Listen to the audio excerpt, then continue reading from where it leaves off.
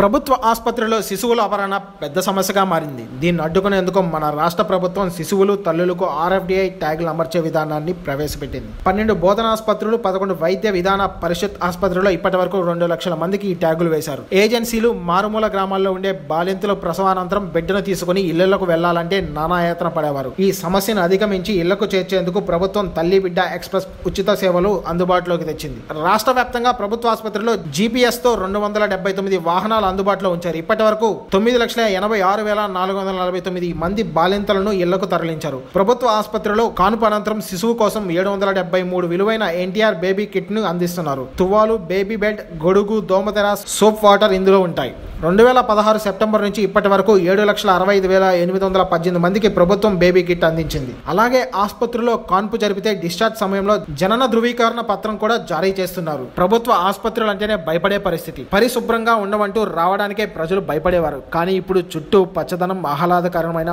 వాతావరణం.